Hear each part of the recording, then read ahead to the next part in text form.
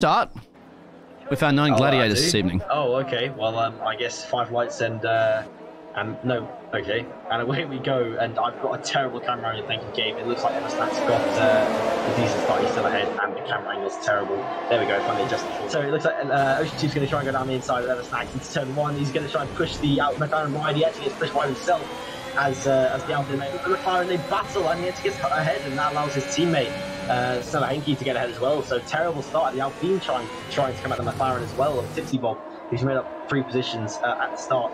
So Eversnacks is behind both Alfa Romeos. He is going to be. But Snelly's going to try to go defense now. Ocean Chief and Snelly do work together, but unfortunately they're too far back there to try to the blocking maneuver, and that means Eversnacks will get that P2 now. British internet. Henke. Stella There you go. Henke's going to try right behind. He's going to try and go to inside of the McLaren. Uh, into the chicane, he doesn't pull it off. He actually gets Eversnax for the title, or it indeed is ahead of Eversnax for the title. So, um, yeah, good moves there by the Alfas, and now Eversnax is going to be under pressure for the for the rest of the race by not being in the DRS of Ocean Chief. I think Bomb on there and move on Tipsy Bob down the straight, so that's uh, See, I'm going to go on board with Ed and watch this action up ahead from his point of view. As you can see, Bowman and Tipsy Bob. There it is. Oh, he's had that whole Ed has had to go evasive. Makes it off that corner, and the McLaren has regained his position, and now will be uh, trying to get that position back. But it looks like Eversnax with his superior pace is That uh, overtake. Well, no, it's changed. Eversnacks has gone into the sand.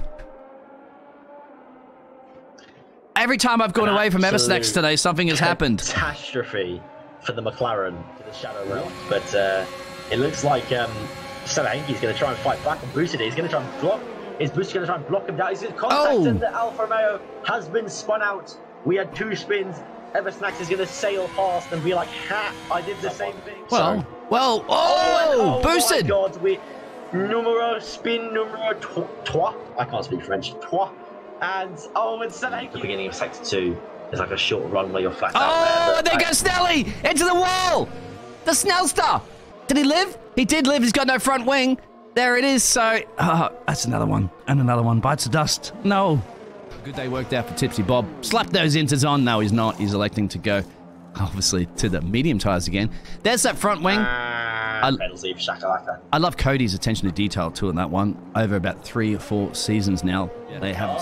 And it's just literally pasting the, the animation over the. It's, bro, guys, come on. It takes you five seconds to cut that No out. front wing change there for Ocean Chief. Should be in and out. Actually, it should be ahead. Both boosters also come in in the background. So he's elected to do the same thing the Chief has.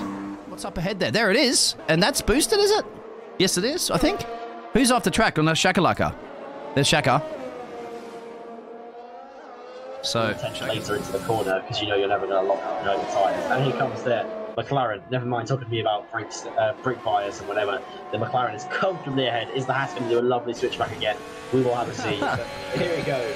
He's about to overtake the Alfa Romeo with DRS. He's not even telling me to overtake. He's that confident. He knows he's got it in the bag. And uh, now he's got to pull out three seconds, which is not an easy task. Two tenths. Oh, man. Eversnacks Dirty, dirty holds off the unstoppable force, meets the unstoppable unmovable object, and Eversnacks wins the Italian Grand Prix. Eversnacks to snacks for me. There you go, mate. Congratulations, Eversnacks. You are the Italian Grand Prix winner in Imola. Check that champagne. It's all yours.